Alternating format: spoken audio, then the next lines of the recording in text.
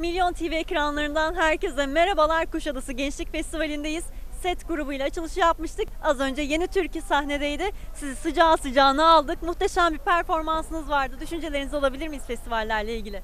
Hala terliyim.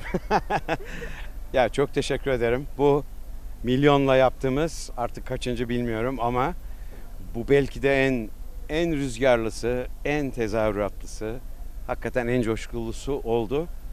Buna da ayrıca seviniyorum çünkü e, bu morali görmek biz o morale katılmamızla birlikte hakikaten bize güç veriyor hepimize.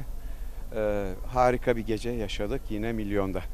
Biz de çok mutlu olduk. Gençler sizi çok seviyorlar. Şarkılarınıza eşlik ediyorlar. Nasıl bir duygu sizin için? Hala unutmamışlar mı diyeyim ne diyeyim. Evet. yani e, klasik olmak herhalde böyle bir şey diyorum. Artık ben de yorumluyorum yani. Çünkü hakikaten karşımda e, 10 yaşında ins- insanlar da var. 15 de var, 18 var. Bilmiyorum daha ötesini göremedim ama o genç kitleyle bizim ku- kuşağın, benim kuşağımın müziklerinin kavuşması bize onur veriyor, gurur veriyor, ümit veriyor. Sizler de müziklerinizi, şarkılarınızı bizler bizlere kavuşturduğunuz için biz çok mutluyuz. Son olarak e, konserlerinize ve yeni çalışmalarınıza albüm var mı? Bunları alabilir miyiz? Valla şu ara böyle yeni bir hakikaten bir güç geldi.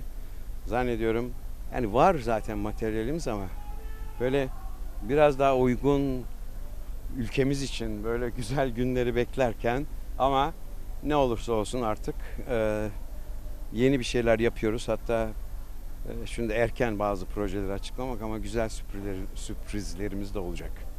Biz de o sürprizleri merakla bekliyoruz. Çok teşekkür ediyoruz size. Diğer festivallerde tekrardan görüşmek dileğiyle. Son olarak Milyon TV izleyicilerine, müzik severlere bir mesajınız var mı?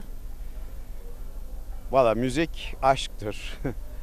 Ee, biz en azından böyle rüzgarlarla, böyle şarkılarla büyüdük. Music is love diye bir şarkısı vardır. Ee, yani bizim için budur. Hakikaten sevgiyi rüzgar, rüzgarımıza katarak, rüzgar olarak sevgiyi alıp yolumuza devam ettik. Herkese de onu söylerim.